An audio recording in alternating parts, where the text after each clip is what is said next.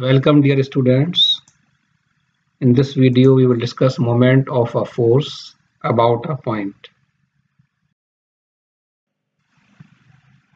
A force vector is defined by its magnitude and direction as we have seen in the previous lectures. Now its effect on the rigid body also depend on its point of application. So as you can see in this figure, this is the force vector and the point of application is A. Okay. Now if this point of application is changed say here or anybody means anywhere in the surface then its effect will be different. Okay. So the effect of this force will also depend on this point of application. Now the moment of this force which is applied on A about O, O is the axis of this body, is defined as MO, M is the moment and moment is about O. So this O is representing the point about which we are calculating the moment. So MO will be equals to R cross F where r is the distance between the point of application and the axis. Okay. So r cross f is the moment of f about o. And this moment vector mo is perpendicular to the plane containing o and the force f. So suppose we draw a plane as you can see by this blue color that this is the plane which is passing through O as well as this F. So if uh, this is the case uh, then the resultant MO is perpendicular to this plane okay? As we have seen in the cross product of vectors so same is the case here okay? So MO is perpendicular to this plane containing O and F and uh, the magnitude of MO you can measure by this equation. MO will be equal to R into F into sine theta where theta is the angle between F and the displacement vector OA okay so this is the angle theta while r is the magnitude of this displacement and f is the magnitude of this force.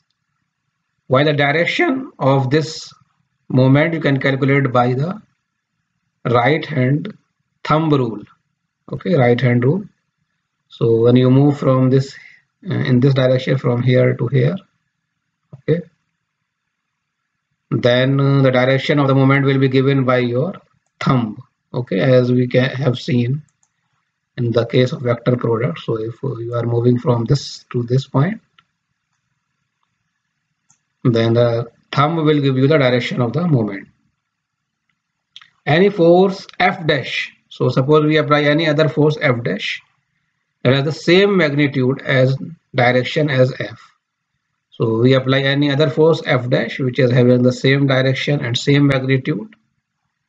So that force is equivalent if it also has the same line of action. So if the force is applied along this line this line so that force will also have the same uh, effect okay? The, uh, that means it will give the same moment okay? Now consider the two-dimensional structure Two-dimensional structures are those that have length and breadth but negligible depth. So suppose this is the 2D structure which do not have much breadth. Okay. And uh, we have this point O and the force is applied in the same plane F. So the moment of uh, this force is m naught and by the right hand rule the moment vector will be out of this plane okay? Now the force tends to rotate the structure clockwise means uh,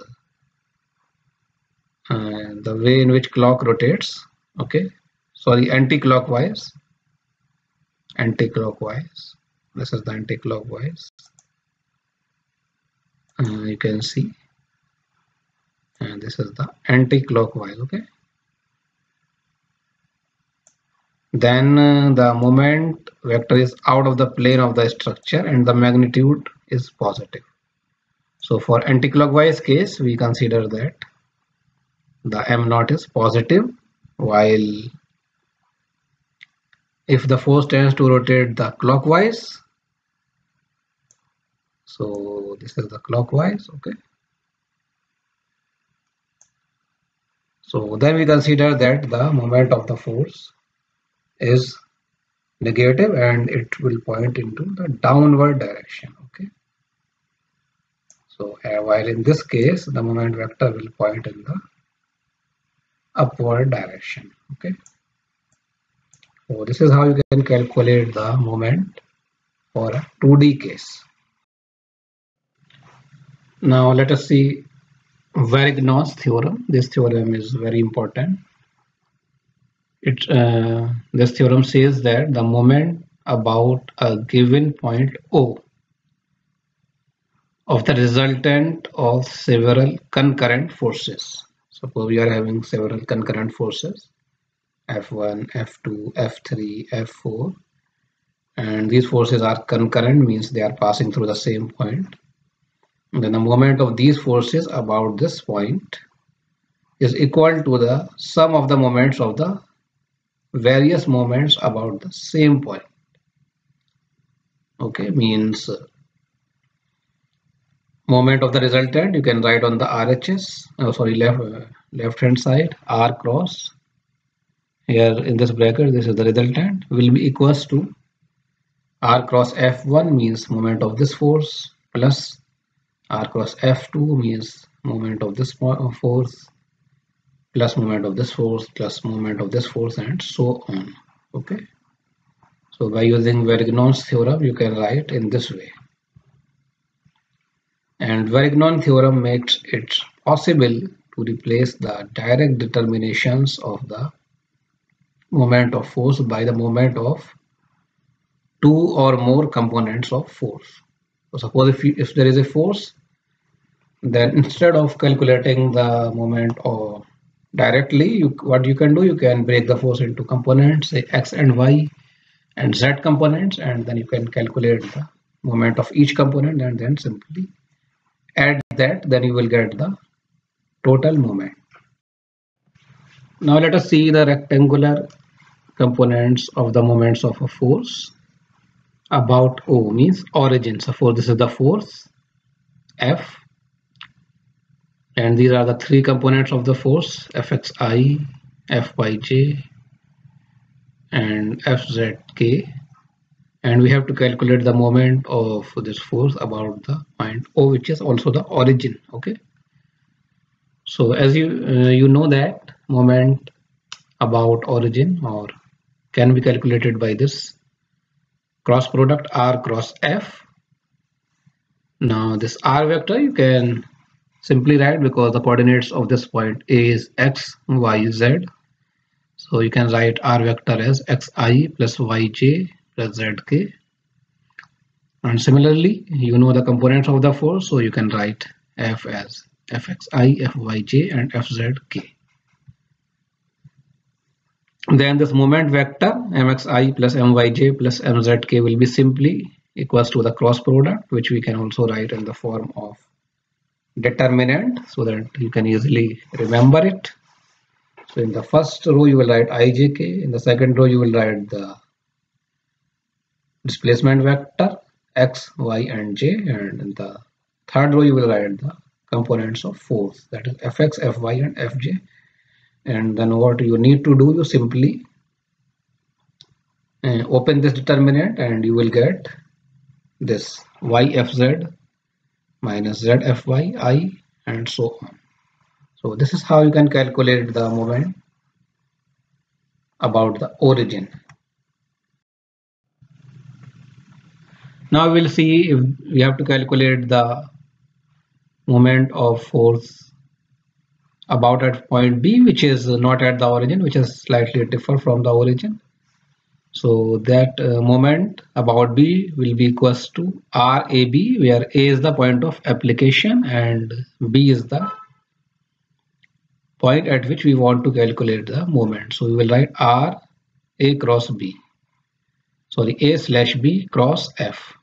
Now we need to write this R A slash B so RA slash B can be written as position vector of A minus position vector of B.